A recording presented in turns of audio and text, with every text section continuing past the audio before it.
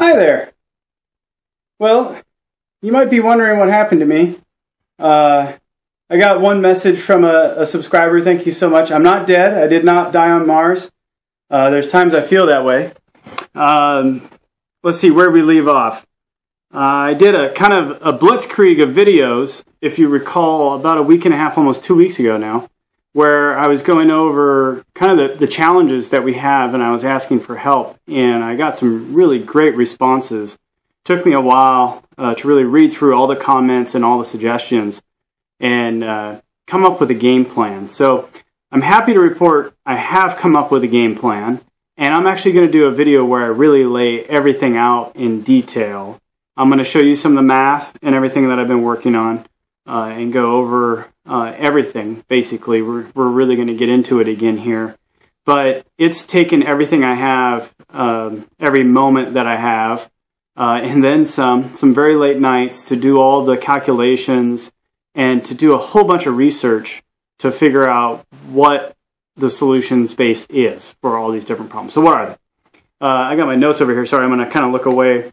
Uh, while we talk, but uh, the first kind of major challenge that we're thinking about is heating. Uh, because we have this November 11th deadline. Uh, if you're just new, then uh, the November 11th deadline is when the snow comes and we can't do anything at all anymore. That's when everything stops. No more shipments, no more deliveries, no more construction. There'll be snow on the ground. It'll be cold, and we're in survival mode. Hopefully, not this year, but last year we were definitely in survival mode uh, encourage you to go check those videos out if you want a good laugh. Uh, so heating, we have to look at insulation, right? We really need to insulate the building. So I started really digging into heating insulation, and that also we needed to consider microgreen processing uh, because we need to be able to increase our capacity uh, for growing microgreens to help fund uh, the research and development we want to do. And in in order to increase our capacity, we have to increase our um, processing capabilities as well. We have to increase our efficiency by 97%, uh, is what uh, I, I put out there for the last video where we talked about that in the Help Wanted series. So, uh, talking about microgreen processing tied back to insulation and heating, because there's a decision that we had to make in there regarding okay, well, do we want to do microgreen processing inside of the building? Uh, or do we want to do it outside of the building, like in another structure, like a Connex that was suggested by uh, many subscribers, or an external building, like a little, uh, you know, temporary building you could buy at Home Depot, a little shed type of thing. So we went through and did the math there and looked at how many square feet we need uh, to be able to do the processing. I'm going to share these numbers with you uh, in future videos. We'll get into details, but just kind of get you caught up. Uh, and we realized we kind of need a fairly long space uh, to, to really do all this, almost 60 feet long uh, when we're at full capacity uh, of this building.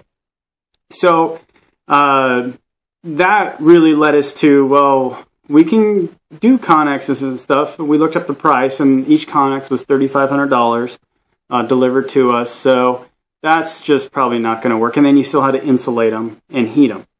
So you, you end up kind of, I don't it, this will come out sounding rude, but it's not. But it's kind of kicking the can, right? I mean, we'd be saying we don't want to insulate this building, so let's go put the processing into a Connex. But then we still have to insulate that building as well and come up with a heating solution. So um, we weren't done though on the Connex because it's a really good idea. So we went back to the heating solution, and the insul- that led to the insulation problem.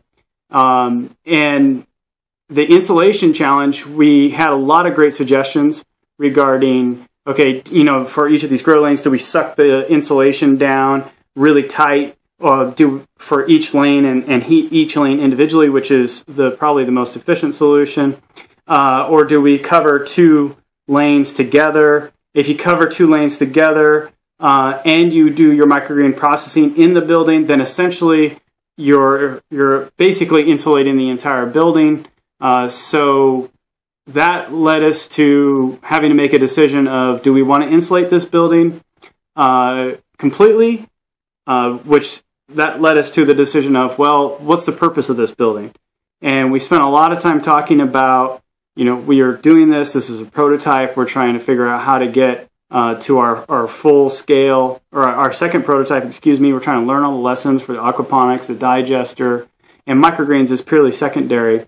But microgreens pays for the work that we need to do, and the bottom line is that you know we need a lot of money to be able to pay for this. So, uh, are we making microgreens a high enough priority, or are we just treating it kind of you know secondary? And the, the, answer was we were treating it secondary. So, we made the solution uh, sorry, we made the decision that part of the solution is going to be the HAB1 is going to be converted into 100% microgreens throughout the entire thing.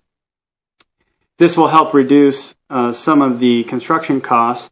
Uh, we don't have to have such complex solutions to be able to get all the microgreens onto one side of the building. We can use the entire thing.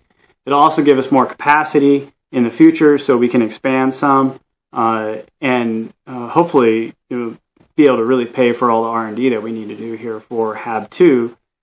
We thought about it for quite some time, like I was saying, and we wanted to, you know, are we giving up on what we're doing uh, is a question, or are we evolving to meet the conditions on the ground? And, and I really believe it's the second, uh, the latter statement is um, we have learned a lot, so much, so much regarding aquaponics, regarding fish, uh, regarding the digester, the electricity, the solar power, our needs, insulation, heating. I mean, it doesn't matter if we're doing aquaponics or normal plants. I'm sorry, uh, microgreens or normal plants. Uh, we are still learning a whole lot from this system. And we know enough now to really start being really super dangerous. Um, anyway, longer story shorter, uh, we've decided to turn HAB 1 into a microgreen building, and that's going to come with quite a few decisions that fall through that whole thing. So the first decision is that microgreen processing will be done in this building and this building alone. We will not expand it to the second prototype. So the second prototype will be purely uh, the G11 concept, trying to get sustainable food and energy to local communities around the world. That's what HAB 2 will be, but we've got to get to HAB 2 first before we can do that, which means we've got to get these microgreens going. Therefore, uh, HAB 1 will be converted completely to a microgreen building. Hopefully that made sense. If you've been following along, and you've been part of the discussions and the trades that we've been discussing, I think that will make quite a bit of sense to you. If you that doesn't, go back and watch the Help Wanted series, and this will make a lot more sense. So let's go on to the next thing. Um, in order to do microgreen processing and to increase our cap- uh, capacity, we need to create those custom shelves, right? And the idea that we talked about is the rotating shelves. Again, you can go back to the Help Wanted series and, and see those videos where we talk about those in detail. Um, the the challenge with the moving shelves actually isn't electricity; it's the fabrication and uh, the complexity of it, uh, as well as reduced uh, microgreen growing footprint, is what the math comes out to say significantly, uh, almost fifty percent less. So um, that's a big deal. Uh, fifty percent. Uh, that's slight. I think it's going to be in between fifty and twenty five percent less Sorry, I'm going from memory and I should just never do math in public. It's just a bad idea. Lesson learned for all you kids out there don't do math in public unless you're good at it. Um, better said, get good at math so you can do math in public and you don't look like an idiot like me right now. Um, okay, so uh, I really am kind of leaning away from the rotating shells and just going with flat shells. And we've reached out to some suppliers and we're trying to find uh, lighter duty shelving so we don't actually have to fabricate custom shelves ourselves. Um, but we can just buy and install it, which will reduce the amount of time it takes and help us get to that November 11th deadline with the microgreens. But that creates another problem. Uh, it's like whack a mole, you know, you get one, you whack it down, and then another one pops up and you have to whack it down, and another one pops up and you whack it down. Anyway, the next problem becomes lighting and water uh, delivery to the microgreen shelves. Uh, if you do a rotating system, then you can have a stationary point like this. Yeah, don't point at you. And you can have the microgreens rotate through it. Now, based on the math, it looks like this concept will work. Uh, you have to slow it way down. I think it's like half a revolution per hour. Uh, so it's going really, really slow and you will get enough light over time on the microgreens throughout the course of a 24 hour day. Um, but you do have significantly reduced um, microgreen or um, microgreen growing area. Excuse me. Uh, and it still takes quite a few lights to do the job on the order of about 33 amps per lane. Uh, and that's looking at LED lights. Uh, reached out to quite a few different suppliers, U.S., uh, China, everywhere, and um, you know, power is power in the end. So that's a challenge. Um, the stationary shelves, which is where I'm leaning towards, they require even more power. So we're really in a quagmire.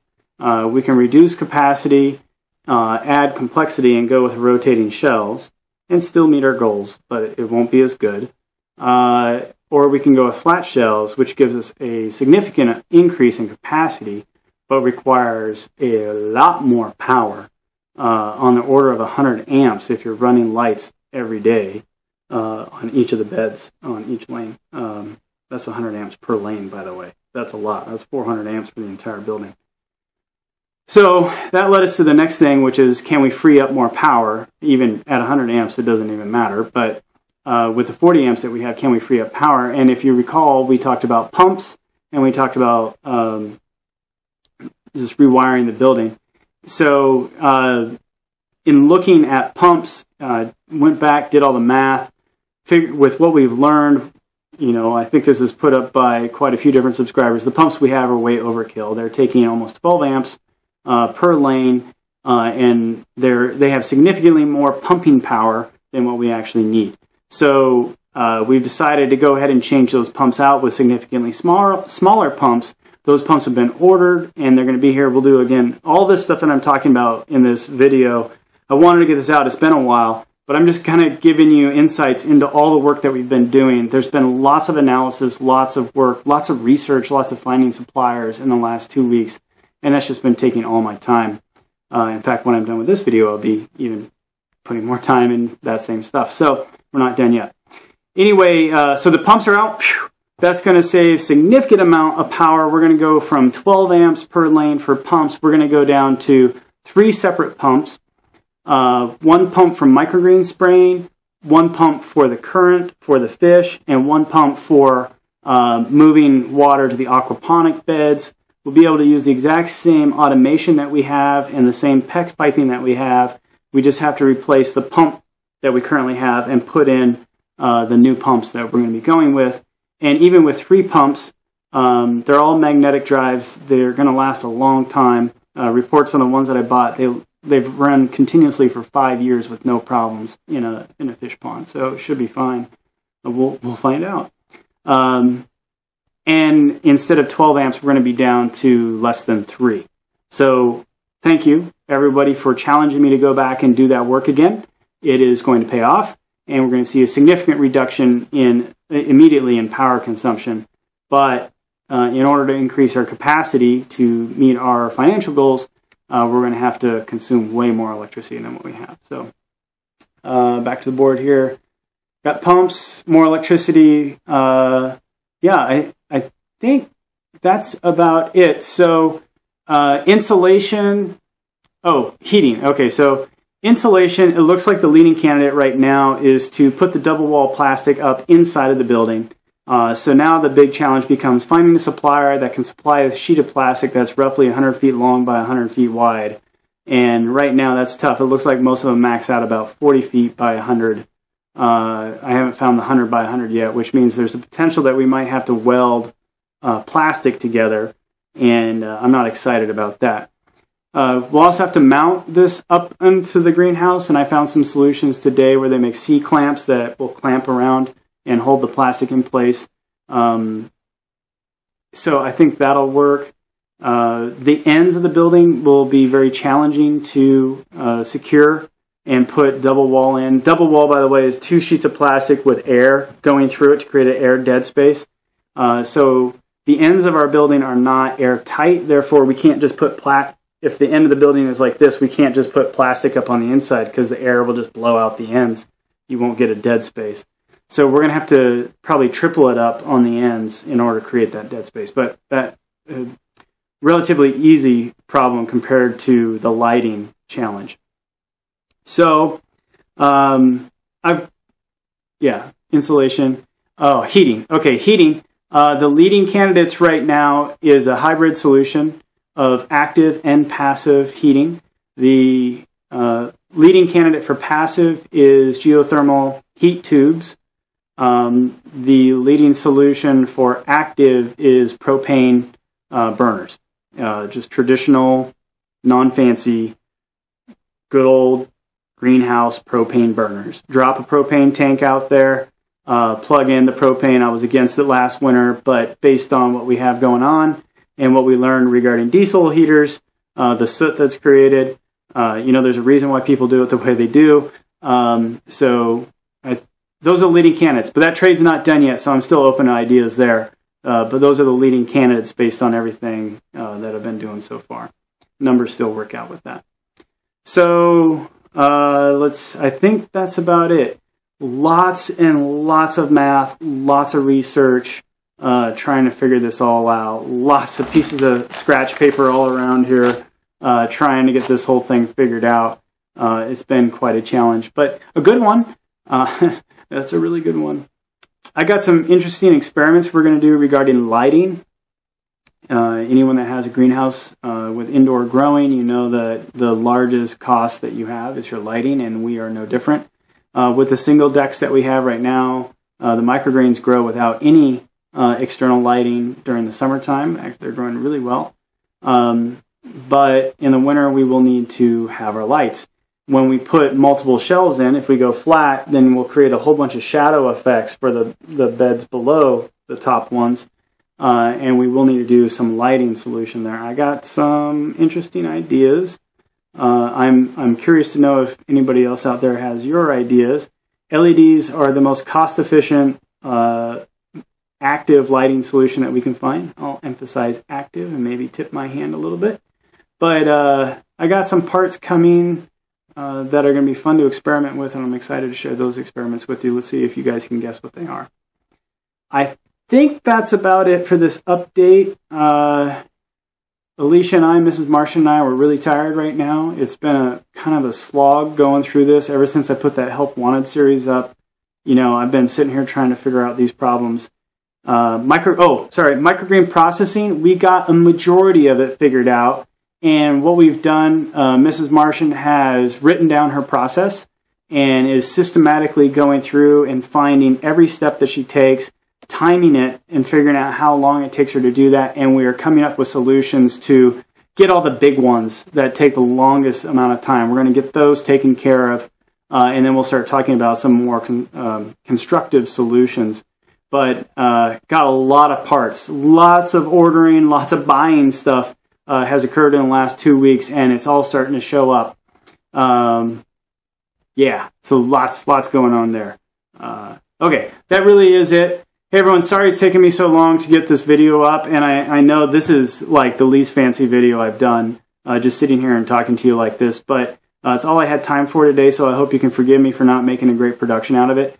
Um, gonna have some more coming up. It's gonna take me a little while to put them all together, but a lot of stuff is showing up, and we'll get that out to you, and got some cool experiments, and you're gonna see those happening. So that's what I got for you now. Hope you all have a great evening. In the meantime, this is Real Martian. Out.